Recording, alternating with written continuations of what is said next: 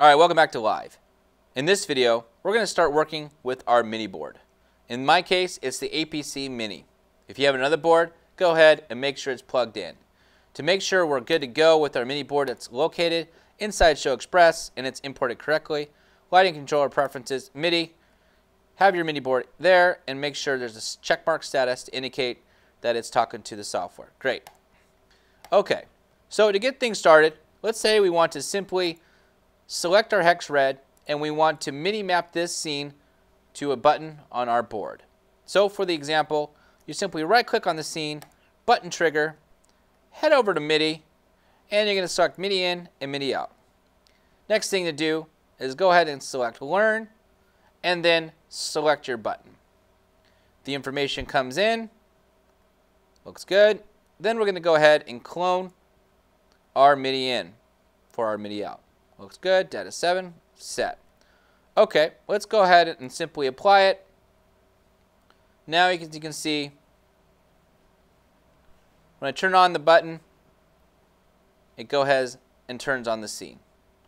So that is simply how you MIDI map a button. Beautiful. So now let's go ahead. As you can see, I turn off the scene. It goes blank. Turn on the scene, it goes green. But what if you want to change the colors? Well, we can. So let's go ahead, right click, button trigger, and we're going to focus on data to on and data to off section. It's currently set to auto. That's by default. But if you do a drop-down menu, you're going to see a lot of numbers. So for my APC Mini, this is a green, red, and yellow color MIDI board. Other MIDI boards have multiple colors, which affects these numbers. So in this case, for the APC Mini, this is how my colors are laid out. On number one, it's green. Number two, it's blinking green. Three is red. Four is blinking red. Five is yellow. 6 is blinking yellow. So let's go ahead and change our colors. So where it says data on, this is when you activate the scene. Which color do you want? So let's go ahead and do a blinking green when it's on, and when it's off, let's do a red on 3. Go ahead and apply, reset.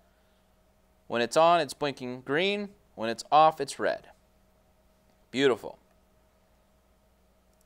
Let's go ahead back.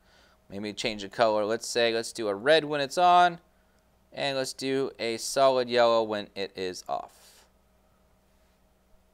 On, off. So that is how you get started with MIDI mapping your button to your scenes. All right, see you on the next video.